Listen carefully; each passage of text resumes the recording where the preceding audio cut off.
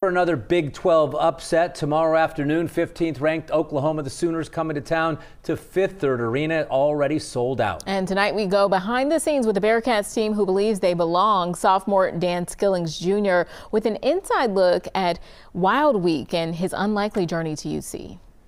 Texas is coming, in, TCU's coming. Dan, post game, we've heard the same thing. This place already ranks near the top. Big 12 atmospheres, noise level. What do you think about that?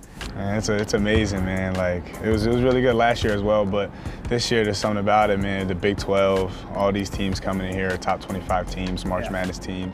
It gets loud, man. Like I, I never heard anything like it. Like this last game was the loudest I ever heard it, and it's like ringing your ears. Like you got to scream to your teammates. Bring me into overtime. TCU, you're on the wing right here. Tie game.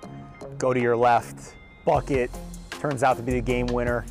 Skillings, five to shoot, drives, left hand, tough shot, gets it with 22 seconds to go. Man, it was, a, it was a wild game, man. I uh, after those two missed free throws, we ain't gonna we ain't gonna deny that. Uh, after those two missed free throws, I was like, all right, we gotta do whatever it takes to win, man. When I hit that layup, the crowd went crazy, and it was just so loud. I was just like, yeah, baby, Cincinnati basketball, man.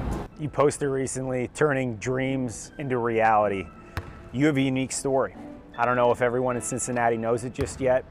When you look at how far you've come in a short amount of time, how do you explain that, Dan?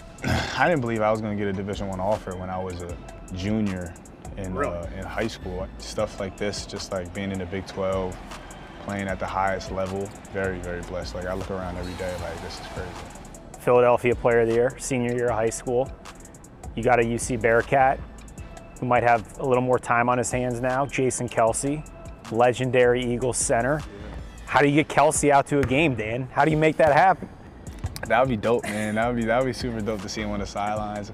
I might maybe hit a three and then dap him up and get a little, get a little picture, you know, put up on my wall. But uh, I don't know, it would be dope for him to come. Yo, Kelce, man, come to a game, man.